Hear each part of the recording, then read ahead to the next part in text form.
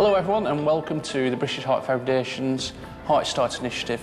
Today's aim is to teach you simple but vital skills that can and do save lives.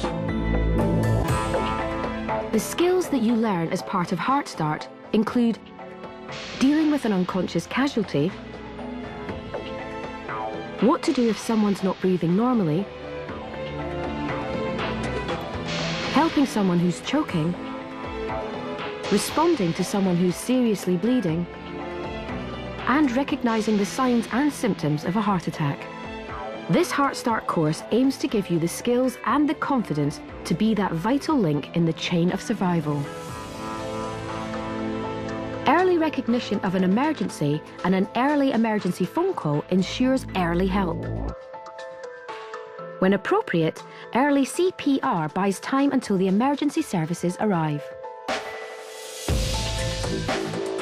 Early defibrillation may get the heart working again. And early advanced care maximises the casualty's chances of survival. A useful acronym to remember in an emergency is Doctors ABC. D. Check for danger. Make sure there is no danger to you or the casualty. R. Check response. Find out if the casualty is responsive.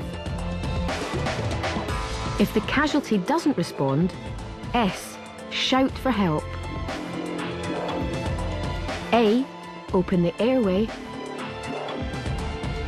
B. Breathing. Check to see if they are breathing normally. If not, call 999 and immediately C. CPR. Start chest compressions and rescue breaths.